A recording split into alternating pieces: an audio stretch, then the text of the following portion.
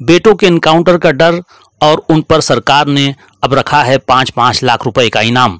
वहीं फरार पत्नी शाइस्ता पर भी है पच्चीस हज़ार रुपए का इनाम। इसके साथ ही इस हत्याकांड के आरोपी शूटर अब्दुल कवि की तस्वीर जारी कर पचास हज़ार रुपए का इनाम घोषित किया गया है।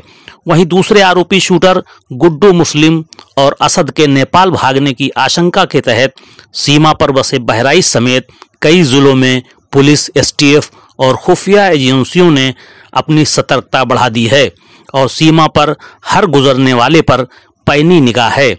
इस तरह उमेशपाल हत्याकांड के कई फरार शूटर पुलिस की पकड़ से बाहर हैं, जो सरकार के लिए चुनौती है। आपको बता दें कि भारत नेपाल की खुली सीमा अपराधियों, माफियाओं और तस्करों के लिए वरदान साबित हो रही है।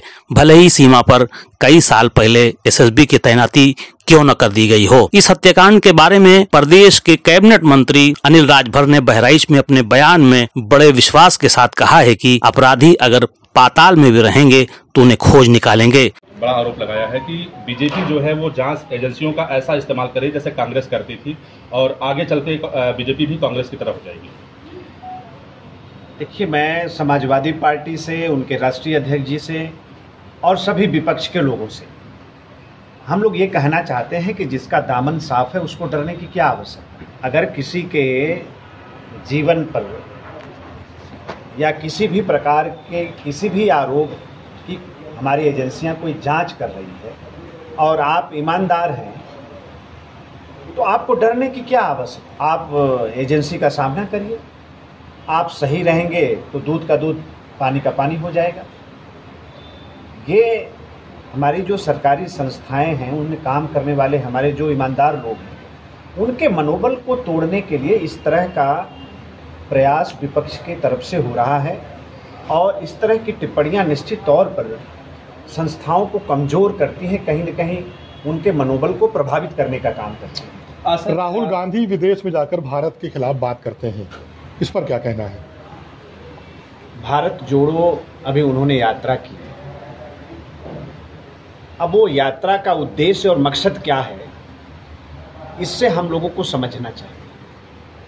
जब इन लोगों ने भारत जोड़ो यात्रा प्रारंभ किया, तभी हम लोगों ने कहा कि श्रद्धे प्रधानमंत्री जी के प्रभाव का कम से कम इतना असर तो हुआ कि भारत को तोड़ने वाले, भारत को बांटने वाले आज भारत को जोड़ने की बात कर रहे हैं। लेकिन वो अपने आदत से बाज नहीं आएँगे। इस देश के प्रति उनका जो नज़रिया है उनके जो बयान हैं वो परिलक्षित कर रहे हैं। सर उमेश पाल की हत्या को 16 दिन बीत चुके हैं। दो अपराधी ढेर हुए हैं एक पकड़ा गया है। सबसे बड़ा सवाल इसमें ये खड़ा होता है कि सोलह दिन बीतने के बाद भी अभी सभी अपराधी पकड़े गए नहीं, नहीं गए हैं। खास करके गुड्डू मुस्लिम और असद के बहराइच से नानपारा से होते हुए नेपाल भागने की सूचना बताई जा रही है। बहराइच में रुकने की सूचना बताई जा रही है। ऐसा एसटीएफ के सूत्रों के द्वारा जानकारी मिली है। आ, आ, क्या पुलिस को फिलोर मानते हैं आप? नहीं कहीं भी नहीं। हमारे पुलिस के लोगों ने बहुत ही बहादुरी के साथ काम किया है, आगे भी कर रहे हैं। हम जल्दबाजी में कोई काम नहीं करना चाहते। जो गुनहगार हैं, उनको सजा मिले, ये हमारी प्राथमिकता है। और आप सबके माध्यम से आप आप सभी के सम्मानित दर्शकों को मैं ये कहना चाहता हूँ कि अपराधी पताल में भी रहेंगे तो वो बच नहीं सकते, उनको खोज निकाला जाएगा।